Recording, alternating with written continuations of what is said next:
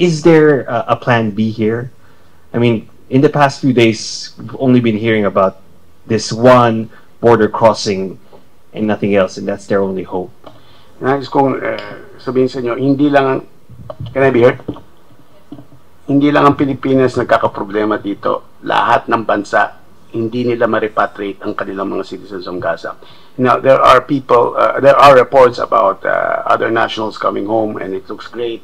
Eh, Whereas, so some pe- people in the Philippines might say, well, how come wala pa na uuwi yung Pilipinas? No, those are being brought home from Israel. In fact, we're bringing home today, the first batch of 17. if you mean plan B, an exit outside, uh, away, other than the Rafah crossing, there is no such exit, other than the Israeli uh, Erez crossing, and they will certainly not allow it. So we have to work for them, well, diplomatically, it's being done. Uh, I'm sure that ASEAN eventually, and UN and others will call for it, no? So, ang importante, handa tayo? Yes, they're ready to cross, and our kababayans, our e- embassy in Egypt is ready to receive them.